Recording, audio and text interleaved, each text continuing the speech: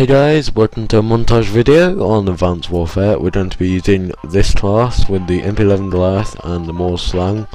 So I hope you enjoy this video, and I'll see you all later.